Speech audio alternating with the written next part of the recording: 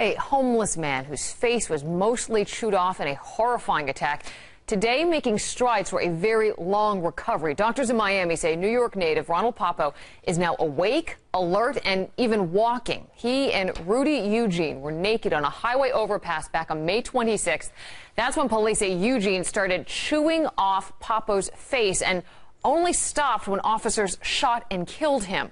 Doctors say Poppo lost most of his recognizable facial features, including his nose, and was blinded in the attack. Doctors say he also inadvertently, he was also inadvertently shot in the chest when police came to his rescue.